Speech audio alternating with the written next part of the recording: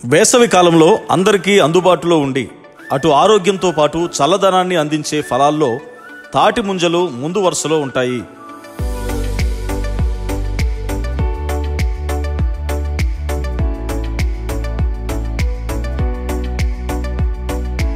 వీటిని ఐస్ యాపిల్స్గా పిలుస్తారు.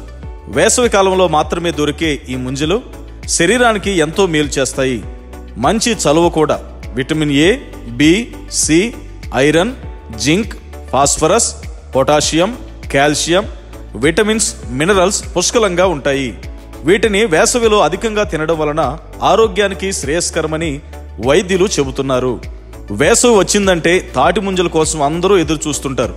మండు వేసవిలో ముంజలు తింటే ఉష్ణతాపానికి చెక్ పెట్టవచ్చు. ఆరు అరటి పండ్లలో ఉండే పొటాషియం ఒక్క తాటి ముంజలో ఉంటుంది. ఇప్పుడు తాటి ముంజలు ప్రజలకు అత్యంత అందుబాటులో. అంటే పల్లెలు పట్టణం తేడా లేకుండా అందరికీ అందుబాటులో ఉంటున్నాయి. ఈ రోజు తాటి ముంజలను తినడం వలన కలిగే ఆరోగ్య ప్రయోజనాల గురించి తెలుసుకుందాం. వేసవిలో ఎండ నుంచి ఉపశమనం పొందేందుకు ఈ ముంజలు ఎంతగానో ఉపయోగపడతాయి. శరీరంలోని ఉష్ణోగ్రత తగ్గి జీర్ణక్రియ పెరుగుతుంది. ఆహారం సక్రమంగా జీర్ణమై గ్యాస్ ఎసిడిటీ కడుపు ఉబ్బరం వంటి సమస్యల నుంచి ఉపశమనం లభిస్తుంది. ఎండాకాలం ఈ తాటి ముంజల్లో ఎక్కువ తేమ తక్కువ క్రొవ్వు పదార్థాలు కలిగి ఉంటాయి. అందుకే చిన్నారులకు హృద్రోగులకు షుగర్ వ్యాధిగ్రస్తులకు స్థూలకాయలకు మేలు చేస్తాయి. వేసవిలో వడదెబ్బ తగలకుండా చేస్తాయి. ఇవి శరీరం ఉష్ణోగ్రతను తగ్గించి శరీరాన్ని చల్లబరుస్తాయి.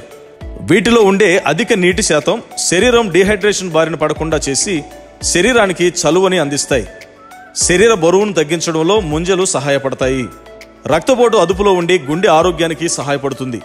శరీరంలోని హానికర వ్యర్థ పదార్థాలను తొలగించడంలో అద్భుతంగా పనిచేస్తాయి. లివర్ సంబంధిత సమస్యలను తగ్గించుకోవచ్చు. తాటి ముంజలు తినడం వలన చెడు కొలెస్ట్రాల్ తగ్గి దాని స్థానంలో మంచి కొలెస్ట్రాల్ వృద్ధి చెందుతుంది. క్యాన్సర్ కణాల నిరోధానికి ఈ తాటి ముంజలు ఎంతగానో ఉపయోగపడతాయి. ట్యూమర్ బ్రెస్ట్ క్యాన్సర్ కణాలను అభివృద్ధి చేసే పెట్రోకెమికల్స్ యాంతోసైనిన్ లాంటి వాటిని నిర్మూలిస్తాయి. గ్లూకోజ్ స్థాయిని పెంచి శరీరానికి కావలసిన మినరల్స్ న్యూట్రిన్లను బ్యాలెన్స్ చేయడంలో ముంజలు కీలక పాత్ర పోషిస్తాయని వైద్యులు చెబుతున్నారు. వేసవిలో ఎండ కారణంగా వచ్చే వికారం వాంతులను నివారిస్తుంది. వేసవిలో వచ్చే చికెన్ పాక్స్ని నివారిస్తుంది. ఇక్కడ పేర్కొన్నటువంటి ఆరోగ్య చిట్కాలు అన్ని వయసుల వారికి వర్తించవు. ఇవి కేవలం మీ అవగాహన కోసం మాత్రమే. వైద్యుల సూచనల మేరకు వీటిని పాటించాలి.